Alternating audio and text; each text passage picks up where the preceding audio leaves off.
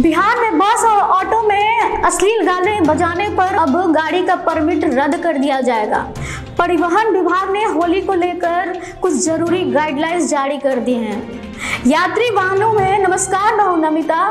आप देख रहे हैं बिग न्यूज़ नाइन यात्री वाहनों में अश्लील गीत बजाने वाले अब वाहनों का परमिट रद्द हो जाएगा। परिवहन विभाग ने इस बात की सभी जिलों को निर्देश भी दे दिए हैं। पटना सहित सभी जिलों को कहा गया है कि अभियान चलाकर इस दिशा में कार्रवाई करें। परिवहन विभाग की ओर से विभाग के सभी संयुक्त आयुक्त, जिला परिवहन पदाधिकारी मोटरयान निरीक्षक व प्रवर्तन अवर निरीक्षक को पत्र भेज दिया गया है।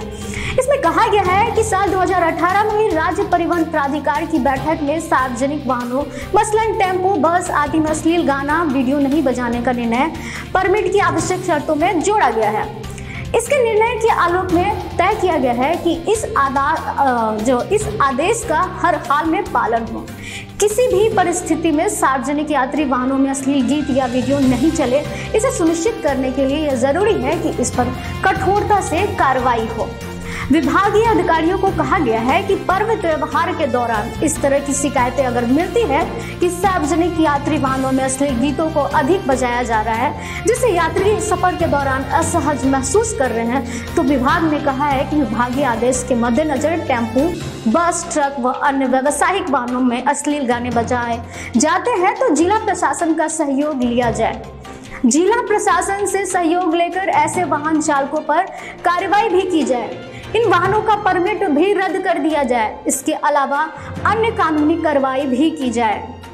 स्कूल कॉलेज के पास भी नियमित जाँच होंगे अभियान के दौरान।